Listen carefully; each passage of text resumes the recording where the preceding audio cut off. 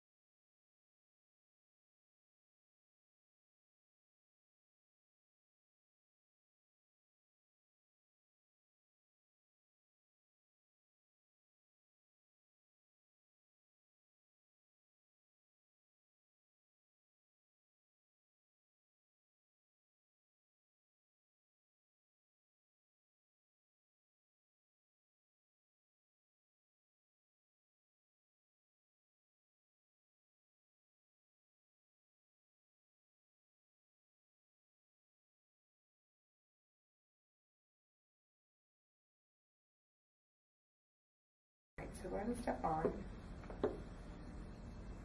Okay, so what I want you to do, Priscilla, is I'm gonna be moving the board underneath your feet. I want you to stay in a nice kind of soft leg stance, which means your knees are gonna be slightly bent. Good. You're gonna be staring straight ahead for me, okay? Your goal, as I push the board, is to make sure that it doesn't rock back and forth too much, okay? I'm gonna go in a specific order. I'm gonna say front, and then I'm gonna push the front of the board gently like this. And then I'm gonna say back, and I'm going to push the back gently like that, okay? All I want you to do is make sure you can try to keep the board as level as possible, okay, without doing too much else with the arms and the trunk. Okay, you ready? Okay. Yes. Okay, here we go. Good stance. Front.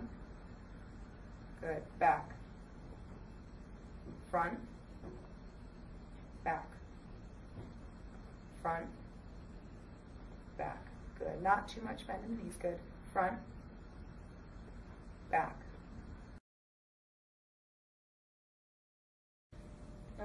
Okay, Priscilla, so settle in, nice soft knee, eyes straight ahead, and I'm gonna be giving really big amplitude and, and increasing the speed as we go, okay? And go ahead and start throwing the ball. Good. Good, get that board parallel after you feel the push. Perfect.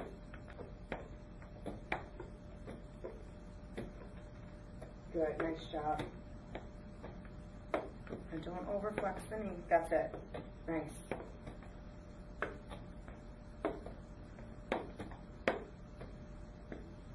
Good. Okay, nice job. All right, so you did a nice job with that. Again, I'm going to be pushing the board. I'm going to back off just a little bit because now we're going to make it a little bit harder by introducing um, a soccer volley. Okay. So go ahead and stand with your knees slightly bent. Good. Eyes straight ahead. Go ahead and do a couple volleys first. Good. Okay. Perfect. So you're going to work to keep the board parallel. Nice job. Okay. And I'm going to start the perturbations. Okay. You ready? Here we go.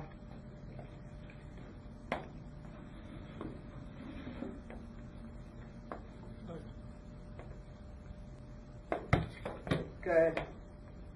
Good. Nice job. Way to keep your balance. Good. Good, Priscilla. Nice job. Good.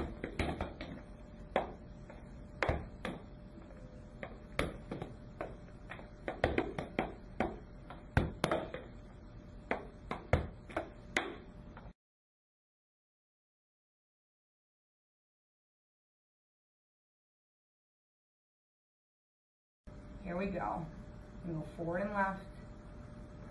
Good. And back and right. Good. And we're going to go forward and right. Good. Back and left. Okay. Again. Forward, left. Back and right. Good. Left and right. Left and right. Good. One more time, left and right. So first we're going to do all directions in kind of a block fashion. So I'll go forward, back, left, right, and then we'll start doing some different directions. Okay. Okay? So go ahead on one foot. Okay, here we go. Good. That's okay. Keep that knee nice and soft. Good. Good.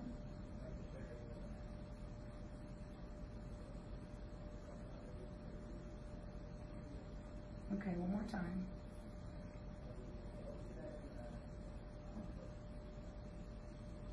Good. Okay, so now we're going to introduce some rotations and diagonals. You ready? Yeah. Good.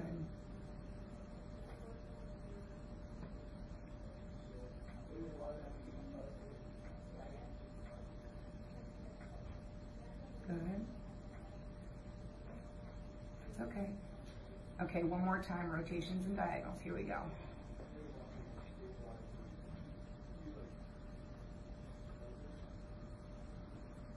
Good. Nice job. Good.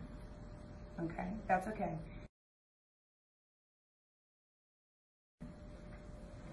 Okay, Priscilla, so we're gonna do the same thing. You're keep your knee nice and soft, and I get to pick the direction, okay? Okay. And we're gonna have someone throw the ball to you. All right, you ready? Yes. Okay, here we go. Couple of ball tosses first. Good, and then we'll get going. Here we go.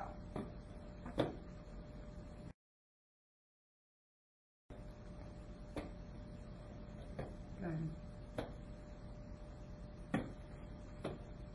Good. Stay nice and soft in the knee.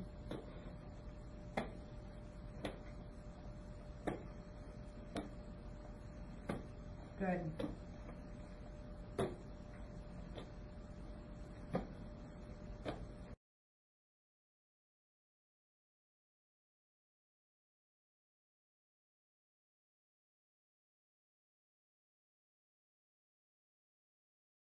Okay, Priscilla. So your feet are going to be evenly apart so that when you stand on the board with gently soft knee, just like that, good, that the board doesn't scoot away. That's very nice. All right, so we're going to do the different directions. We're going to go front to back first, side to side, and then left right rotation. Okay, are you ready? Yes. Okay, front, good, back, left, right, rotate left, good correction, rotate right. Good, and now let's do diagonals. Keep those knees soft, that's good. Front left, right, back right, good, back left. Very good. So Andrew, as we've done before, you're gonna stay nice and even between the boards, nice even weight. You're gonna stay looking straight ahead, and I'm gonna perturb the board with kind of varying force and varying speed, okay? Okay. In unexpected directions, so you have to be ready for anything. All right, ready? Mm-hmm. Here we go. Okay, don't over contract. Just meet my force, don't beat my force.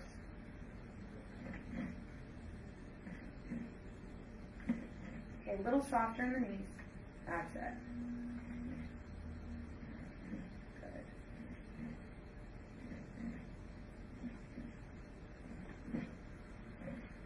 Okay, now we're going to do some combined movements. So sometimes you're going to feel a diagonal push and a rotation at the same time. And I want you to respond in the same way. Meet, don't beat my force. You ready? Mm-hmm. Okay.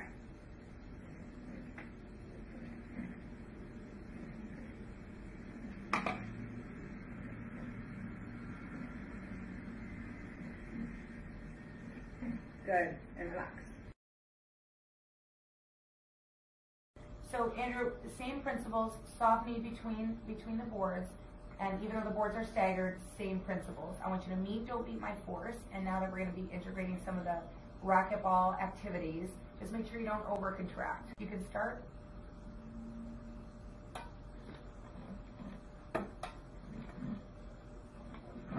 Whoa, Andrew, over contracting there a little bit. Make sure your your legs are even between the boards. Good.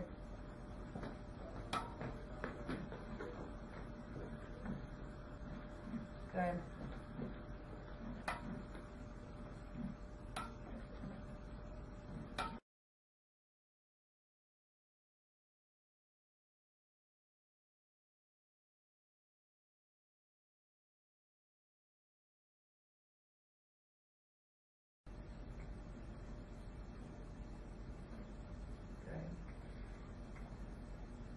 Here we go.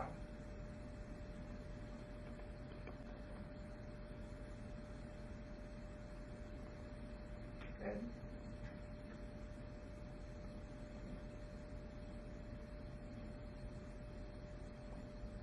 Good.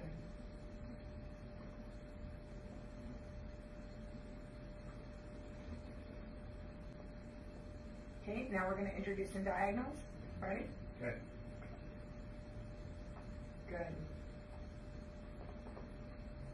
Okay, let the muscles relax after you've done. There you go. Good.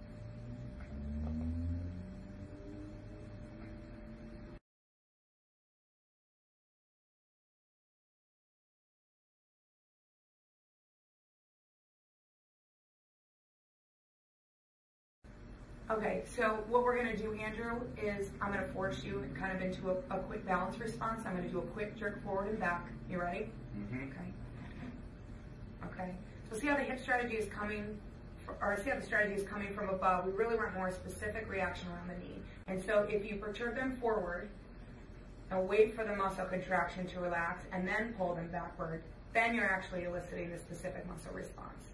Same thing when you do rotations or diagonals. Off the knee just a bit. Good. I'm going to do quick rotations. Okay. Again, more of a balanced reaction than a specific muscle response. So again, Good. Good. Okay. And relax. So Andrew, go ahead and go on one leg. And then kind of pinch your legs together as if to balance. So some patients will attempt to keep their balance by pinching the legs together. Can't have that. Then go ahead and relax. And then do the toe touching kind of balance.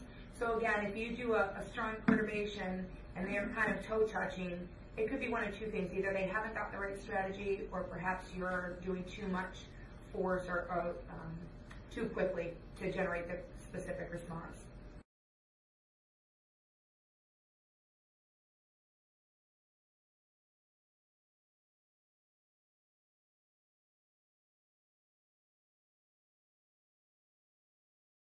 Okay, so another problem is um, overshooting.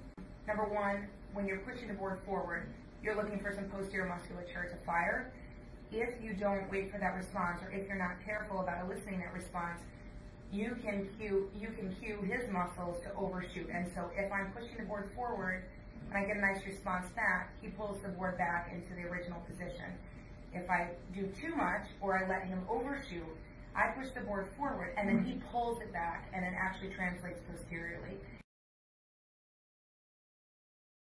Okay, so for a delayed response, even when you're getting particularly particularly into the higher force and um, higher speed um, perturbations, sometimes you'll be perturbing the board and they won't respond at all, and you have to be able to recognize that. So for instance, a side-to-side motion is particularly difficult for these patients. So if I perturb the board this way and he doesn't catch it until I've moved it several inches, you know, I'm I'm basically perturbing it too great and in too great a force and I probably need to restrict my motion until he understands the response to that perturbation. So again, Andrew, I'll just push it out to the side. Okay, and he's not catching that. So that board would continue to go. So I just want him to catch the board if I move it about an inch or two inches. Some of the problems you'll run into when you're first introducing a patient to the combination roller board and stationary platform is that when they get set up, the important thing to do is kind of let the board go a little bit and see how their um, distribution of weight is. What you can often tell is, go ahead and shift your weight to the left. The board starts to slide. That's really indicative of an uneven weight shift, and they're they're just not distributing the weight between the boards properly. Okay, and as a therapist, I'm starting to feel that he's slowly kind of moving the board away, and you can see that the contraction in the back of this knee is really working hard on this leg and not doing what he's supposed to on this. Just kind of bring him back to center, let him realign, leave the board alone for a second, make sure he's good position, and then you can start the perturbations again. Another problem that the therapist will have is in trying to kind of induce the specific muscle response, they'll get a little overzealous and start perturbing too quickly and with too high an amplitude um, in multiple directions. And so um, this is called chasing, where the therapist is basically getting ahead of themselves and not allowing the proper response. Here we go. So the board is moving too freely, and I am not getting a specific response. Okay, you see how the board is kind of scooting, it's also drifting away. Um, so that is obviously